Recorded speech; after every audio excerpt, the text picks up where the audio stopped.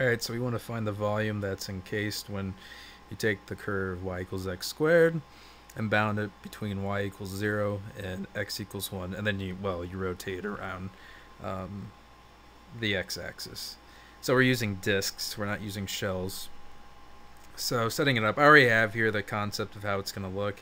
Here's the concept of the shells. This is just an arbitrary amount and you just stack the well you take an infinite infinite amount of these and you stack them you know thinning it pretty much you'll get the exact amount. And here's the equation that uh, here is the equation uh, enclosed area and then we flip it around.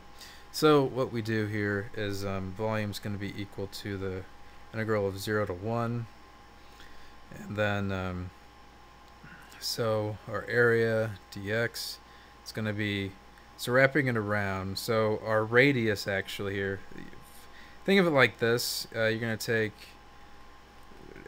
it's basically just finding um, kind of like well the volume of a shell, but or volume of a like a cylinder in a way, a real thin cylinder, except we're just going an infinitesimal amount. So the radius here in this case um, is x squared,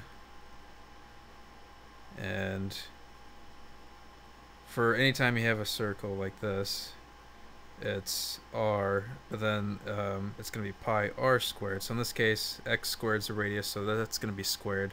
And then you're going to multiply it times pi. So this ends up being the integral from 0 to 1 of x to the fourth times pi dx. So pulling out our constants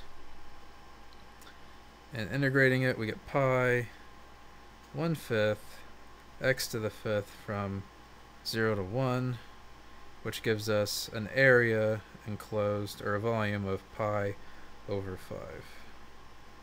So that's volume. And that's it. That's how you solve it. Yay!